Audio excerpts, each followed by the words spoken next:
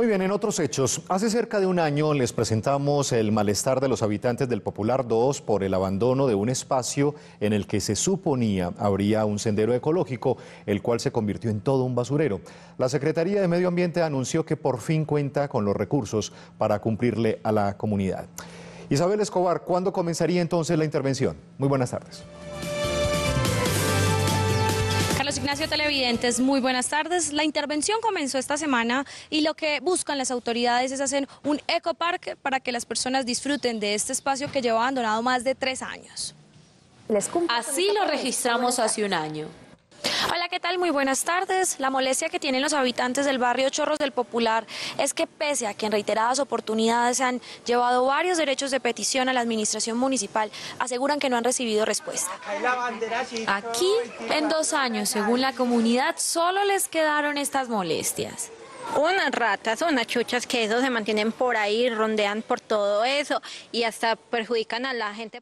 Y con pocos días de intervención se ve así el espacio. Estamos eh, haciendo un despeje en esta área que está muy, muy poblada y estamos eh, recogiendo todos los, todo lo que son materiales desechables que especialmente la, la, la hierba la idea es cumplir con la construcción del sendero ecológico.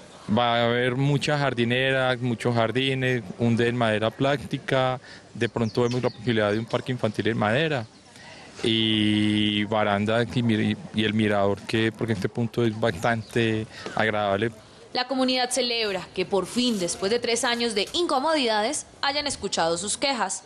Un proceso muy largo, luchando con la comunidad para que no nos tiren escombros, no nos arrojen basura, porque son demasiados los insectos, las ratas. Y gracias al Señor en este momento me siento plena y dichosa. Porque ya van a hacer el parque, ¿no? Al aire libre para uno poder hacer los ejercicios, todo, ¿no?